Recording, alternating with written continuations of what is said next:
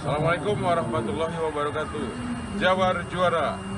Hari ini di kegiatan Pornas ketujuh hari kedua di venue Ciwidey Valley di ASKI adalah penyelenggaraan lomba senam Jabar juara tingkat nasional beregu dan perorangan.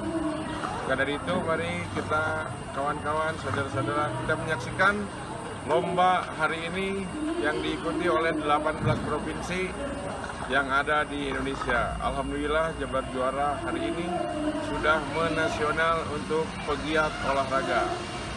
Saksikan